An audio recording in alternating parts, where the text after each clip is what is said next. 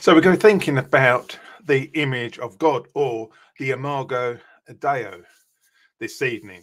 And what is the image of God? What does this mean? And really, it all comes back to these questions Who am I? Am I a whole person? What does it mean to be a whole person? What does it mean to be human? Perhaps you want to put in the chat what you think makes us human.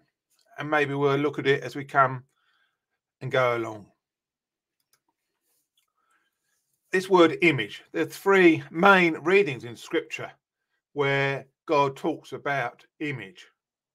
In Genesis 1 26 to 27, it says, Let us make mankind in our image, in our likeness, so they may rule over the fish in the sea, the birds in the sky, livestock, wild animals, all creatures that move along the ground.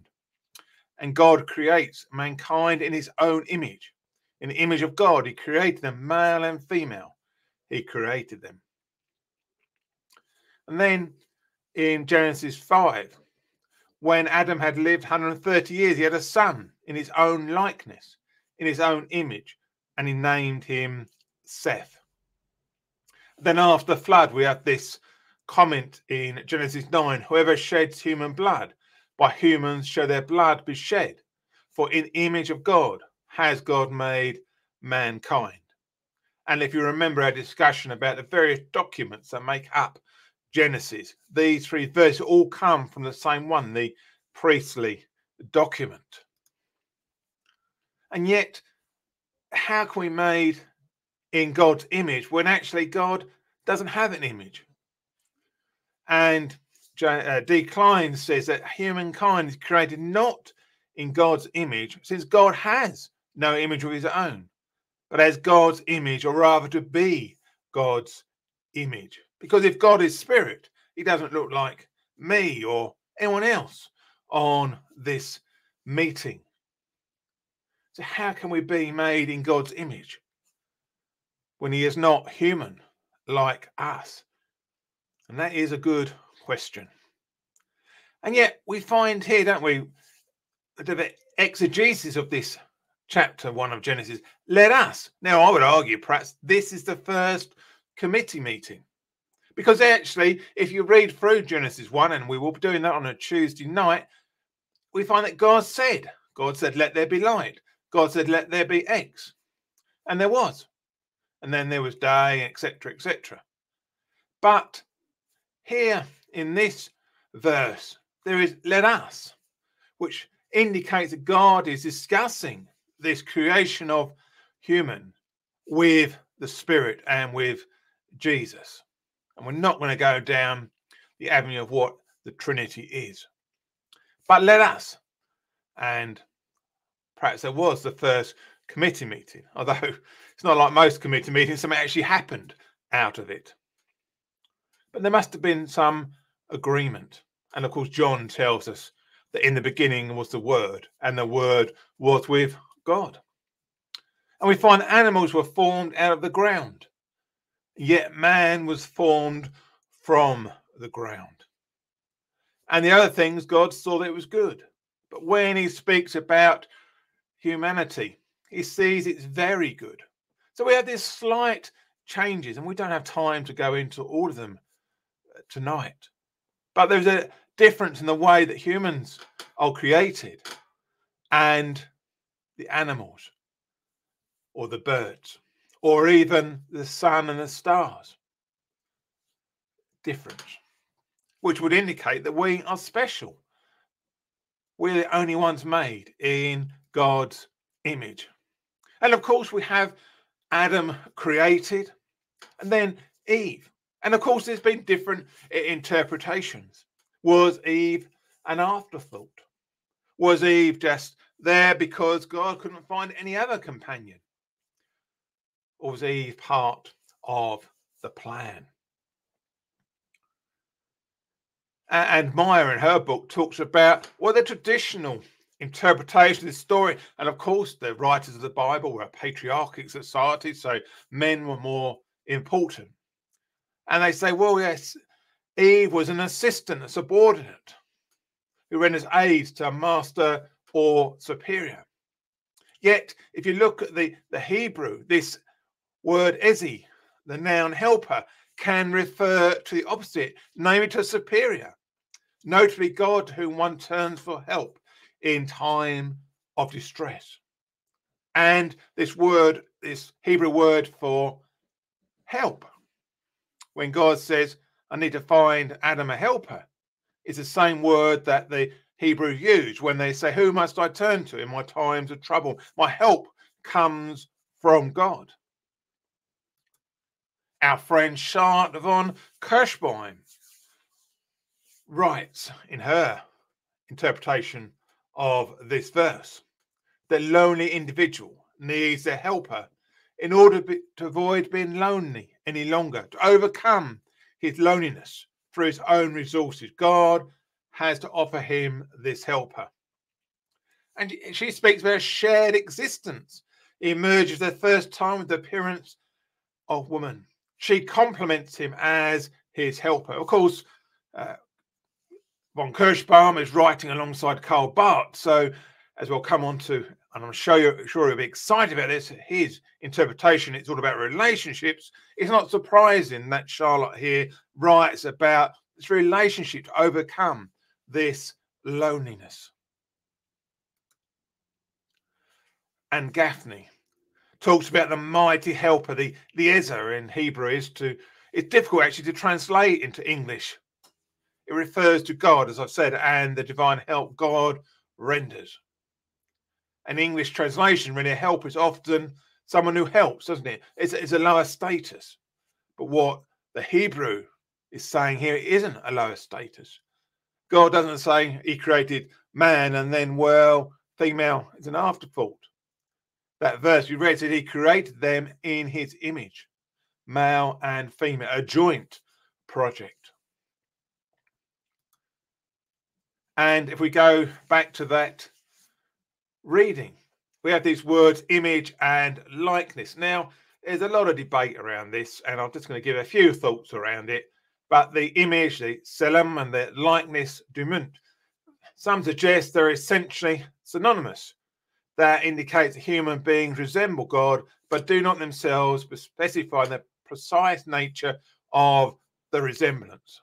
And of course, theologians, probably because we've got nothing better to do, we read a lot into this word image. And is there a difference between image and likeness? Because actually, if you look to the verse about Adam, it changes around that Seth was made in the likeness of Adam and then speaks about image afterwards.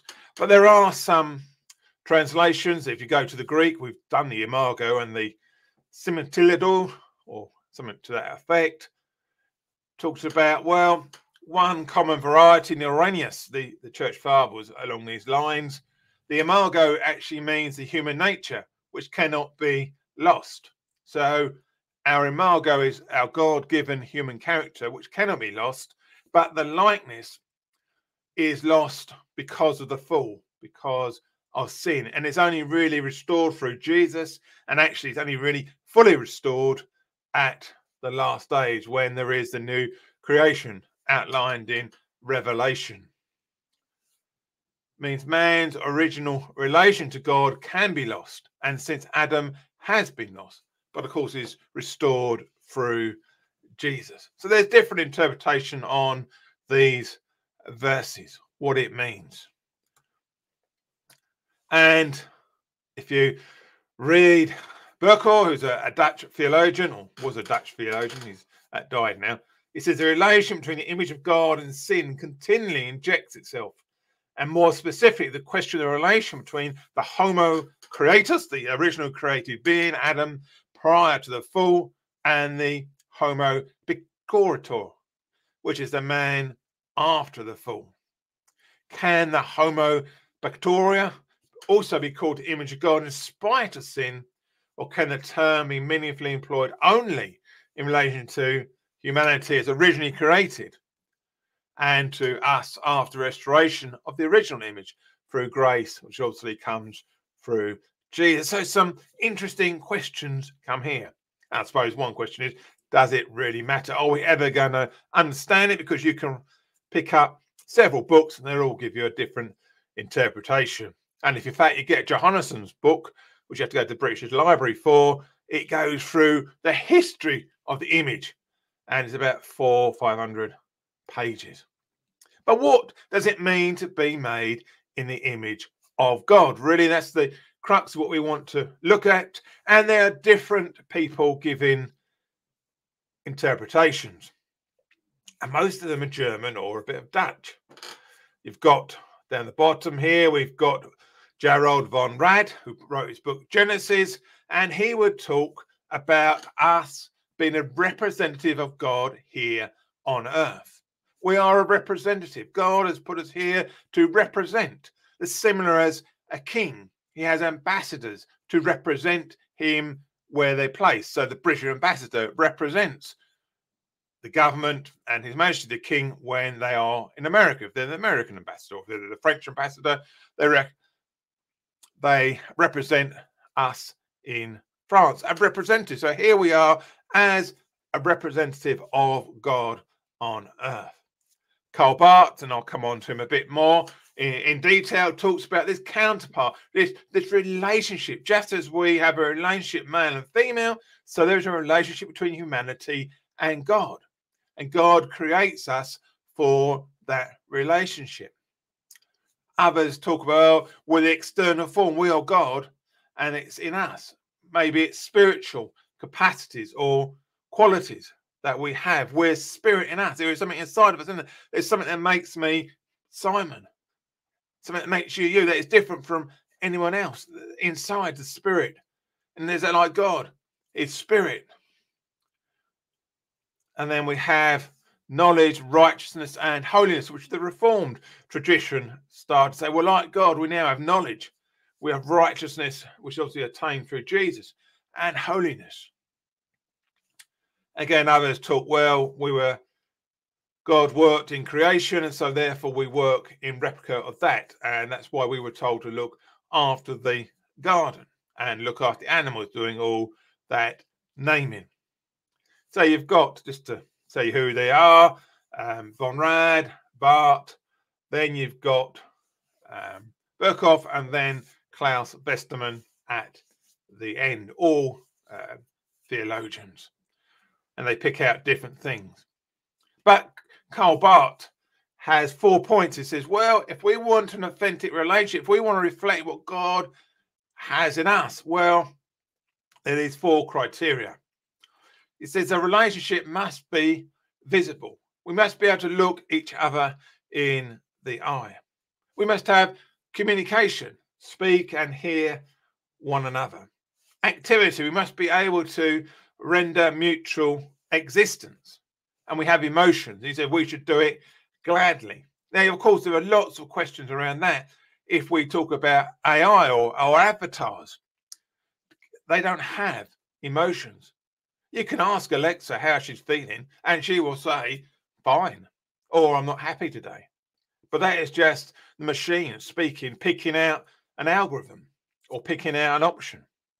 She can't experience that emotion that we have. The emotion, you know, when Chelsea put six past Everton on Monday night. Emotions. And this again applies to some of the stuff in the metaverse. Yes, I can look people in the eye, but who am I looking in the eye? The avatar or the person behind the avatar? We can communicate we reactive. And this is what Barth says is an ultimate relationship between God and us and us and everyone else. And of course, we don't always do things gladly, do we? When we think of our work life, then sometimes we have to do it because the boss says to do it, or we have to do it because it's in the contract.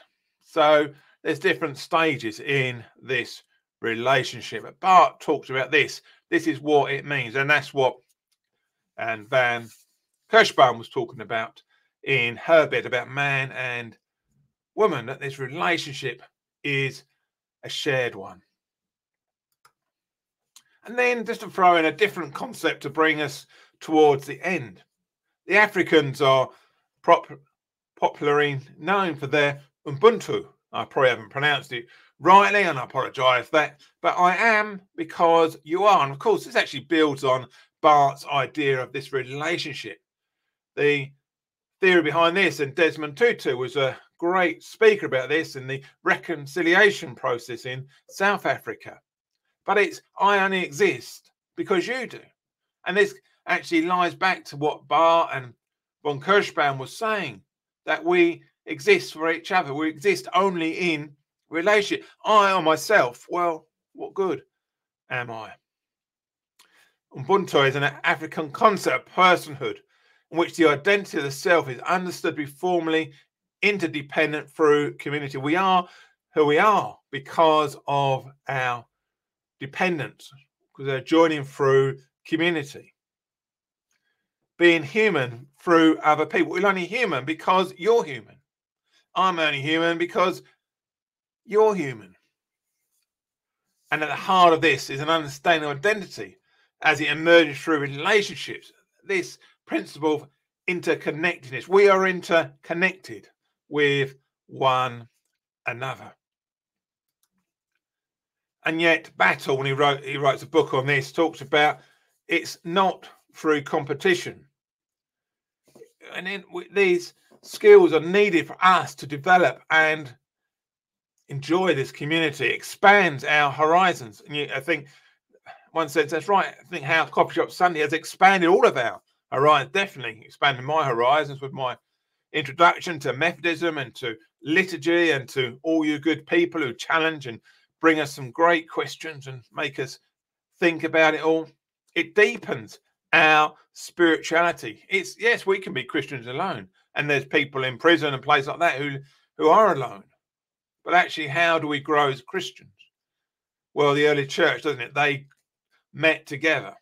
And we do, don't we, in Coffee Shop Sunday? We meet together, which expands our spirituality.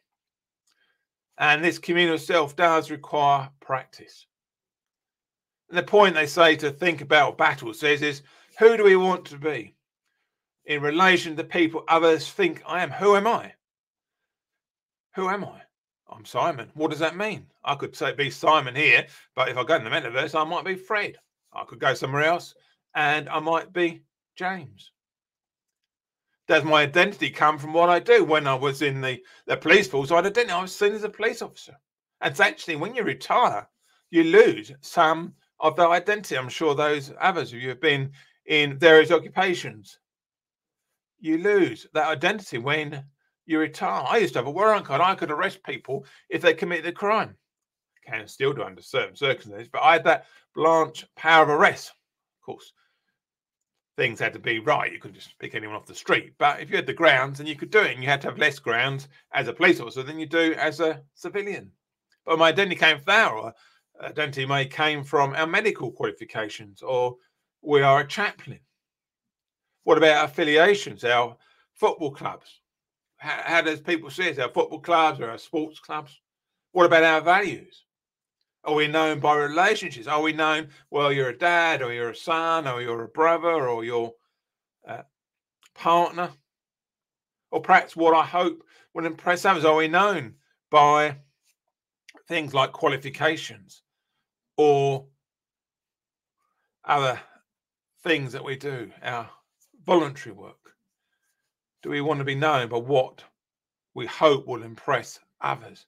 But it is being about I am because you are. And then we move on. So we've looked at what it means to be human and how we're made in the image of God. But how does that move then on to this metaverse, to about us as avatars? So we're going to think about avatars and being made in the image of God. What is an avatar? Well, there are different definitions. It all goes back, in fact, to the, the Hindu religion when one of their gods came down to earth and describes an avatar as a visible representation of the, the god. And really, that is a visible self representation. There's my avatar, my latest one in uh, big screen. Of different avatars for different apps, but that's my avatar. And really, it's a self representation. That's how I represent myself. And we could describe it as well, as a visible image of the invisible. People can't see me in big screen, they only see my avatar. So it's a visible image of the invisible, which comes to a, quite an interesting conversation later on we could have around Colossians 1:15, which I'm going to talk about at the end, where Jesus is the visible image of the invisible God. He is, and I put it out there, Jesus, a type of avatar. But an avatar. Avatars have also been described as imago meta. That is our way we are. You can have avatars in Zoom. You can have avatars wherever you are. And some people say where they're they are the digital twin. There's some papers around that about how we have a digital twi- twin when we are online. I don't know, some of you may have been to see ABBA the Voyager, but they are avatars and they are really lifelike avatars. They move as ABBA used to move, they sing, and the voices are from the musicians. Are they real? Well, actually, you could argue that they're not real because there's not a person sitting behind them. But the avatar, when I'm in Metaverse Church, there is. Who am I? It's a good question. Who am I? Am I Simon? Am I pastor? Am I just there floating in church? Who am I? Who do I represent? Who am I here? Am I a, a, police officer when I'm on duty? I was on duty. When I was doing some running, I'm a runner. When I'm doing preaching, I'm a preacher. And here, who am I here? Well, I'm doing the scenes of crime in my detective work. But am I Simon? Or am I Simon the runner, Simon the officer, Simon the preacher, Simon the forensic? Who am I? Am I a different person or do I remain the same person? Or actually, are all these just visible representations of me? When I'm running and I've got my running gear on, is that my running avatar? When I go to work or used to go to work and put my police officer's uniform on, am I a police officer avatar? when I'm preaching? Am I in that way of being a preacher? Am I friend that you wouldn't recognize me? But am I me? Or is it just a figment of your imagination? Now, I'm going to show you a little clip if this works. And who is the pastor? Some of you are like, what? That's the greatest thing ever. Not to me. It's just not. I don't know. I don't like it, okay? Uh, we don't coach our kids' sports teams. I know. Some of you are like, oh, you're those parents. Yep. That's us because we couldn't make our kids better athletes, you know, out there. Uh, we don't hang out at coffee shops. Like, if we're going to go, we're probably going to uh, go through the drive through and then we're going to go down to the lake and, and go sit along the lakefront or go sit in a couch at the uh, end of a you know, hallway in a resort. So that was church in the metaverse, and we did a room where there was no floor, which was a bit unnerving, to be honest. But which was one of those persons was the VR pastor. Obviously, the, the real, the main pastor was there speaking from the screen. But who was, who was the pastor? Would you know? That Stuart, our VR pastor at Lakeland Church but you wouldn't recognize him. You wouldn't know he was the pastor. But he isn't incognito because actually you click on his uh, avatar, then it says his name. But if you haven't got the name pastor in there, you wouldn't perhaps know. Which gets us to the next thought, really. Are we not all just avatars?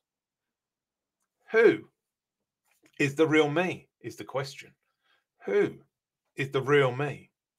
Who is the real you? And there are some studies around that. Dr. Paula Gooder in this book, Body, talks about the soul is that unique core that makes a person truly human. And yet she uses this word meanness because it doesn't matter when I was younger, as we all were, I've changed. My body's changed. My good looks have changed. Some might say they've improved. My physique has gone up, down, and up. But I still remain me. I mean, there's something about me that is me. And we talk about the soul, the spirit, depending on which uh, theologian you want to follow. Some say there's free body, soul, and spirit. Others say, well, it's the soul and the body. But it's this meanness. It's not my body that's a relationship with God, is it? It's the meanness, my soul, my inner being, however we want to describe it.